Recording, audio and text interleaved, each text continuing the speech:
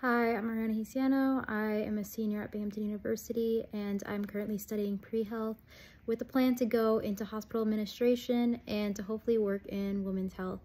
Uh, what drew me to Wafaa was first handshake and then um, your message about helping specifically women and children um, in need or in assistance during like a housing crisis or a financial crisis for them, helping giving them a leg up um, during their time um, in need.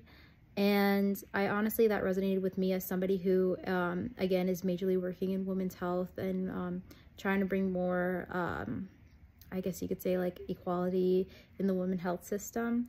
Uh, I've always been interested also in working with uh, minority uh, groups um, and helping those who do not have the same opportunities in certain neighborhoods as someone who has grown up in that same kind of environment and had programs out there to help me. I wanted to be able to give back, give back, sorry.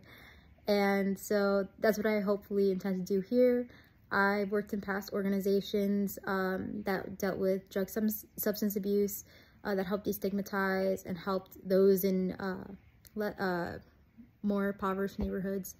And I have also worked with children and uh, bringing scientific experience, experiments to them um, in those same scenarios to both like spark a new education interest and give them a better future. And uh, hopefully with here, I hope to be flexible and be able to help you guys in any way I can.